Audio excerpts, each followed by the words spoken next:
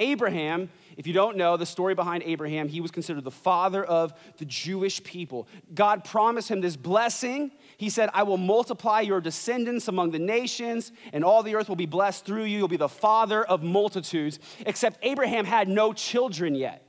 God promised him, I'm going to bring you a son. So they waited a long time. Abraham and Sarah went way past childbearing age, and then Sarah got pregnant. We don't even want to think about how that happened, all right? Like, gross. but, but, but finally, she's pregnant, and they have the son, the promised son, Isaac. And then this crazy thing happens in Genesis 22. God calls to Abraham and says, I want you to take your son, your only son, whom you love, up the mountain, Mount Moriah, and sacrifice him to me as a burnt offering. How do you think Abraham felt about that? Wicca, wicca, what? Like, how would you feel if God asked you to do that, right? You're like, right now, you're like, oh, I don't know if I have that kind of faith. But Abraham, he had faith. So he took his son, Isaac and he said, We're going up the mountain to make a sacrifice to the Lord. So, uh, you know, carry this bundle of wood on your back.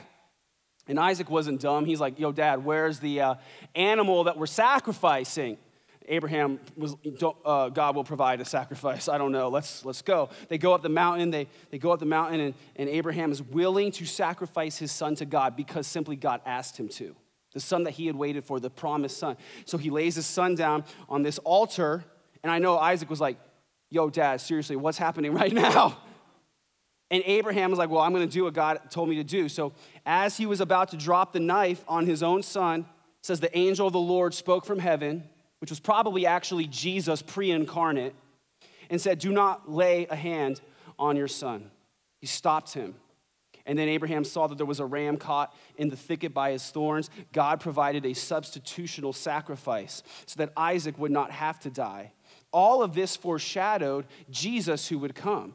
That God would give his son, his only son, whom he dearly loved, as a substitutionary sacrifice for our sins. That he would also carry wood up his back, up a hill, and take our place, paying the debt that we owe to him.